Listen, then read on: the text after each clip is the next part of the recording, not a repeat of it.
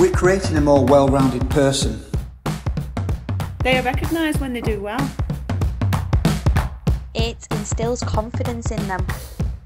It builds stamina and self esteem. It has just been a fabulous experience for both my kids and me.